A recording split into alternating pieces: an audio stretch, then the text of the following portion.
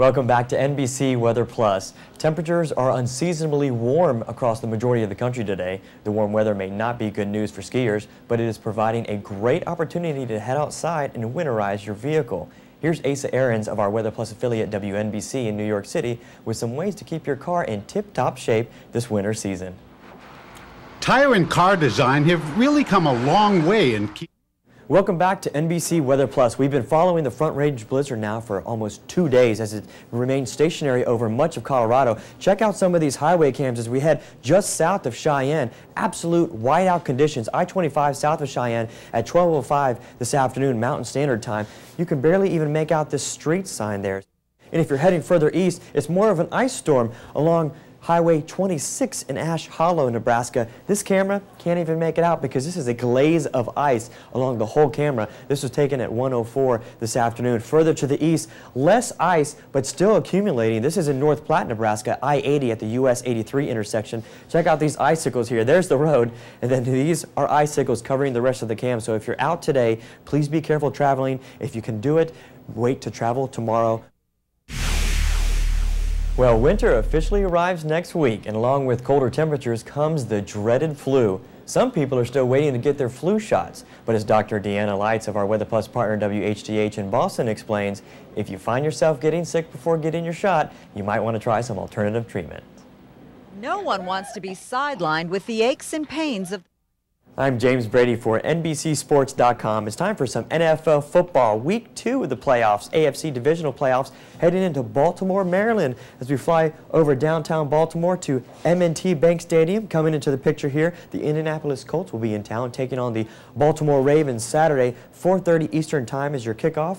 54 degrees is your kickoff temperature. Expect mostly cloudy skies with a 30% chance of rain, so you might want to bring that poncho. As we take a look at the rest of the game, from halftime to the fourth quarter, some of those those rain showers might be thunderstorms, so hold on to that poncho because you're going to have to check that umbrella in at the door if you bring one of those. The NFC Divisional Playoffs on Saturday, New Orleans, Louisiana. Philadelphia coming off a win, beating those New York Giants, flying in to take on the New Orleans Saints. What a great story this year. Recently rebuilt Superdome. Eagles Saints Saturday, 7 o'clock Central Time, 70 degrees outside if you didn't get a ticket to go inside to watch the game. As far as we're concerned, beautiful weather, mild for the rest of the game. Mostly cloudy skies, but a nice mild evening to watch some football in Louisiana. And then we head to Sunday, staying with the NFC Divisional Playoffs, Chicago, Illinois. Different story compared to New Orleans. The Seattle Seahawks will be flying in to take on the Chicago Bears as we fly you in across from Lake Michigan into downtown Chicago, Soldier Field. Seahawks, Bears, Sunday, noon Central Time, 31 degrees is your kickoff temperature. But those temperatures are going to be feeling in the teens with the wind chill uh, being a big factor in the game, as well as some light snow showers. I'm James Brady with NBC Weather Plus, and it's time for your Thursday forecast and this morning's lows across the Northeast, Ohio Valley, Eastern Ohio Valley, 30s and 40s across much of the region.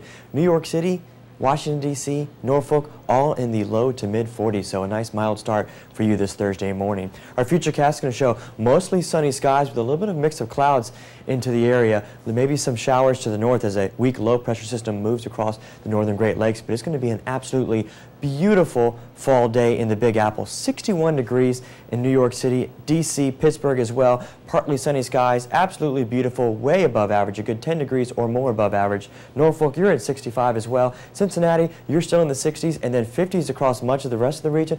Well, of course, Caribou, always a little bit cooler on this spot of the map at 39 degrees. Friday, much of the same. New York trying to get to that 60 mark. Again, 59 is your expected high. 63 degrees in our nation's capital. 66, another sunny day in Norfolk. And then some 40s move into the region. 44 in Detroit, 47 in Buffalo, and 49 in Burlington. Enjoy it while it lasts because winter's around the corner. And don't forget to check me out tomorrow for the next day's forecast. For NBCWeatherPlus.com, I'm James Brady.